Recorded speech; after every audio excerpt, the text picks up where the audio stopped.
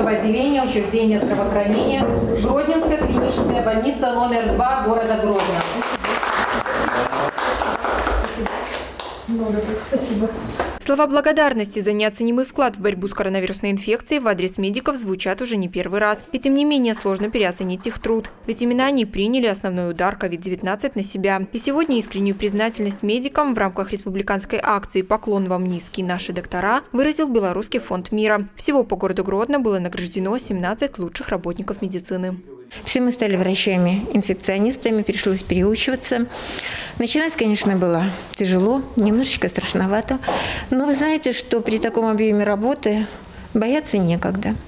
Поэтому мы все делаем на ходу. Учимся, помогаем, учим наших пациентов, как себя вести, учимся сами не бояться и учим наших больных не бояться этой инфекции. С ней нужно сражаться.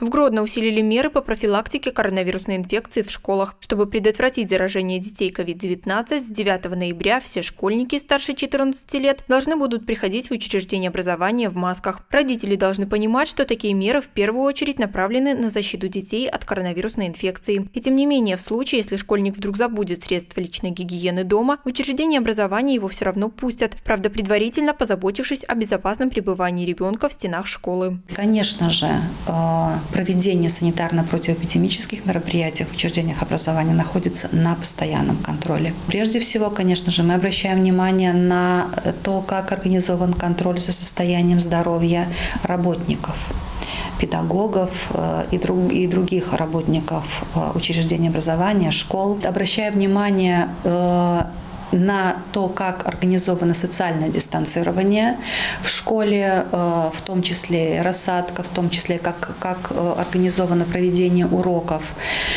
как организовано питание в столовой.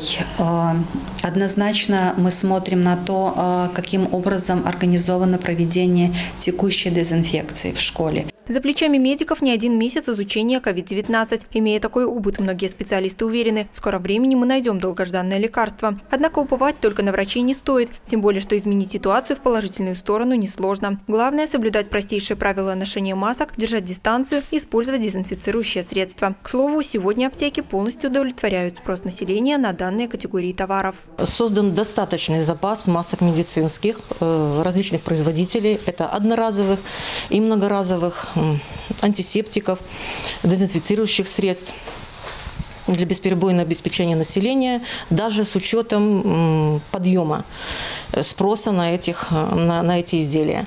Если летом он был ниже и в начале осени, то за октябрь месяц реализация масок медицинских составила свыше 2000 штук.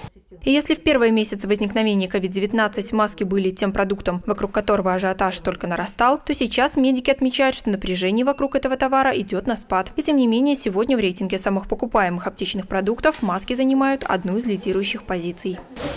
Здравствуйте, можно маску? Угу, спасибо большое. Мало просто купить маску, нужно ее еще и правильно использовать. Надевать маску нужно держать непосредственно за тесемочки. Вот таким образом. Расправляем ее и закрепляем на носу. Многие говорят, что они не носят маску, потому что им трудно дышать, и поэтому они иногда снимают ее вот так, либо вообще вот так. Это абсолютно неправильно и может быть даже небезопасно. Специалисты говорят, что если вам неудобно дышать в маске, нужно просто сменить вид маски. Тем более сейчас в сети аптек представлен достаточно широкий ассортимент как одноразовых, так и многоразовых средств защиты. Такие профилактические меры, как ношение маски, позволяют не только обеспечить свою безопасность, но и сохранить здоровье близких. Ведь бороться с коронавирусной инфекцией должны не только медики. Это забота всего общества. Ольга Пранкевич, Андрей Шиповалов. Новости Гродно Плюс.